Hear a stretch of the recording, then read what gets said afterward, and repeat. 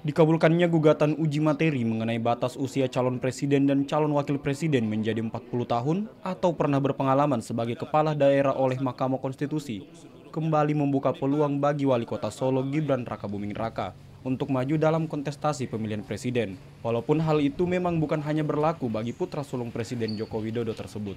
Karena itu saat ditemui di Balai Kota Solo pada 17 Oktober, Gibran menyebut selain dirinya ada banyak kepala daerah berusia di bawah 40 tahun lainnya, baik di Jawa Tengah maupun dari provinsi lain. Dia bahkan menyebutkan sejumlah nama seperti Bupati Kendal Diko Mahtado Ganindito, Wakil Gubernur Jawa Timur Emil Elistianto Dardak, Wali Kota Bukit Tinggi Erman Safar hingga abang iparnya Wali Kota Medan Bobi Nasution.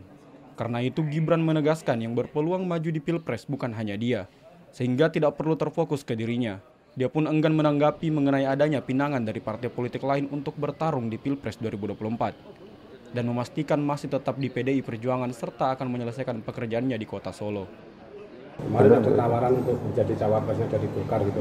Siapa yang bilang gitu? Enggak.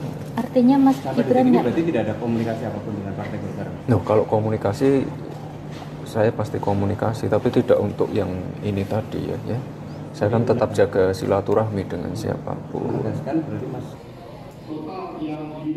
Seperti diketahui, MK telah mengabulkan sebagian permohonan uji materi Undang-Undang Nomor 7 Tahun 2017 tentang pemilu mengenai batas usia calon presiden dan calon wakil presiden diubah menjadi berusia 40 tahun atau pernah berpengalaman sebagai kepala daerah yang merupakan sebagian dari perkara yang diajukan secara perorangan warga negara Indonesia atas nama Almas Sakib Birru mahasiswa Fakultas Hukum Universitas Surakarta.